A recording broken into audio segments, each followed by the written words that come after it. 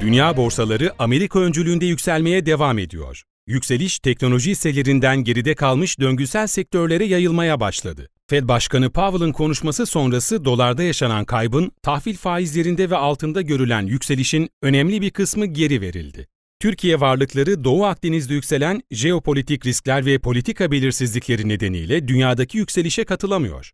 Gelişmekte olan ülke paraları dolara karşı kayıplarını geri alırken Türk lirası dip seviyelere yakın yerlerde işlem görüyor. Ağustos ayında dünyanın %10'a yakın gerisinde kalan MSCI Türkiye, Eylül ayına %1 civarında geride kalarak başladı.